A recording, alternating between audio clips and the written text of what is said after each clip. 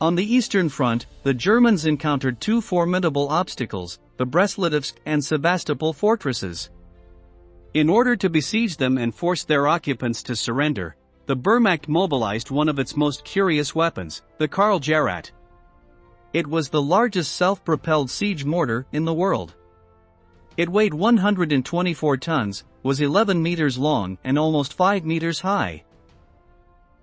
To be operated, it required a crew of 21 people, made up of a commander, two drivers, and 18 gunners. The model was equipped with a powerful 600mm long-barreled mortar, which had a range of 6.8 kilometers.